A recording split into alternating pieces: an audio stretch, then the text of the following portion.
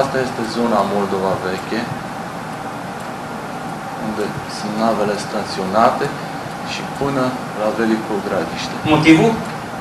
Vântul puternic. E avertizare de cât kilometri pe oră? Autoritățile sârbești au dat avertizare de aproximativ 160 de km pe oră. Vânt 160 de km. Foarte puternic. Foarte puternic, da.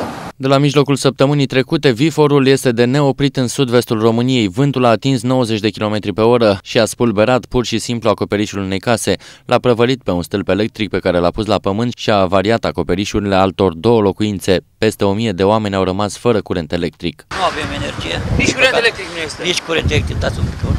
Da. Altceva. De câte zile bate? Aproape o săptămână. Bate într-una. O săptămână bună de când bate vântul și cam asta e situația. Aproape că nu te poți ține pe picioare. Aproape. A, cred că a fost peste 120-130 de km la oră. Deci luat tot odată, smuls, ca o tornadă a fost, cu tablă, cu blăni. Deci blănile bătute în 4, 5, 6 cuie, cornii bătuți în șuruburi, în cuie. În... O să avem o discuție în Consiliul Local, să venim în sprijinul lor. Sper să găsim soluții împreună. Și Vis-a-vis de energie electrică, ce ne puteți spune? uh, ni s-a promis de la Enel că în cursul zilei de astăzi se va rezolva problema energiei electrice. Câte localități sunt acum? Ambele localități, Coronini și Sfânta Elena. Cam câte familii? În jur de 450 de numere la Coronini și 200 la Sfânta Elena. Situația e dramatică și pe Dunăre din cauza vântului care spulberă valurile formate, fluviul parcă fierbe. Portul Moldova Veche a fost închis, iar 30 de convoaie sunt captive între valuri pe Dunăre, pentru că nu se poate naviga în asemenea condiții. Pescarii au rămas și ei fără plase. O luat cu acoperișul un om și a venit și a luat pe el altă casă. Tot și Bate de speriat. E. Hai de cam eu.